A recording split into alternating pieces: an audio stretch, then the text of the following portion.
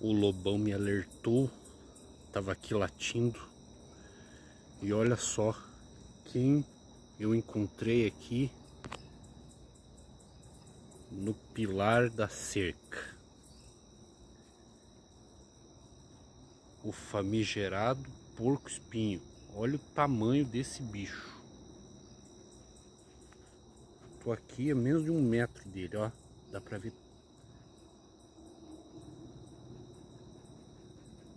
Olha o estrago que esse bicho pode fazer com a cachorrada. Tô aqui falando do ladinho dele. Tá nem aí, só tá mexendo os espinhos. Sorte. Cadê o lobo? Olha o lobão aqui, ó. Sorte que eu vim a tempo aqui. Se esse bicho cai pra dentro, hum, era a segunda tragédia. Olha. Se consigo filmar. Lobo.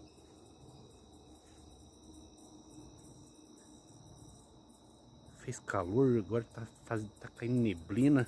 O clima daqui é bem exótico, né, Lobo?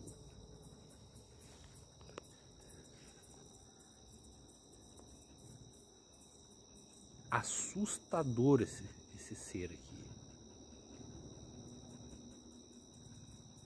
Eu esqueci filmar cara dele. Eu tô tentando filmar a cara ele tá se virando.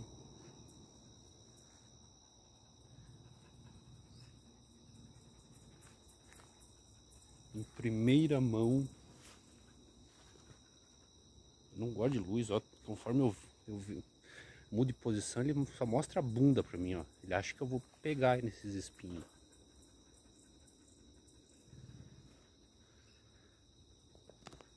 É, seu. Você me deu um, um trabalho aquele dia e você tá voltando aqui. Mas ele é grande demais, esse bicho, cara.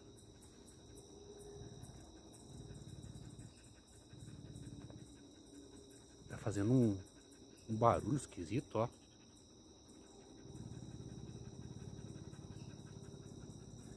Ainda bem que eu prendi a cachorrada a tempo. Ainda bem que eu prendi a cachorrada a tempo. Rabo. Tá fazendo um coachado, fazendo um... Ele tem uma carinha bonita, esse dia eu vi ele numa árvore. Ele tem um rostinho bonito. O problema desse bicho é que ele é muito lerdo. Se ele cai para dentro aqui, até ele conseguir escalar,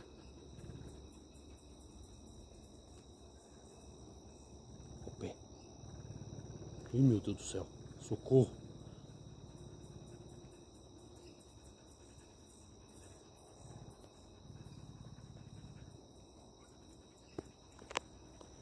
Deixa eu filmar teu rosto, rapaz.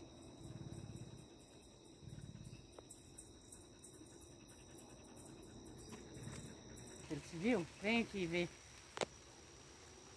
Olha a carinha. Fofo, né? Não, tadinho, ele não tem culpa, Rodrigo. A única proteção dele é essa. Que proteção mais que ele tem, ó. Ele andou perdendo uns espinhos ali, ó, tá vendo?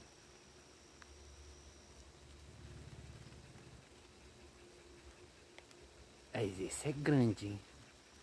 Parece um koala espinhudo. Não, não pula aqui pra dentro, pelo amor de Deus. Pelo amor de Deus. Só não deixa o lobo chegar perto. pula lá pro mato, rapaz. Vai, cara. Não, meu Deus do céu. Olha que loucão. Jesus. Lobo! Rodrigo, não deixa o lobo ir aí. Não é pra vir aqui mais, cara. Palhaçada. Vai. E a Tina, será que mexe com um bicho desse? Acho que não. Foi embora.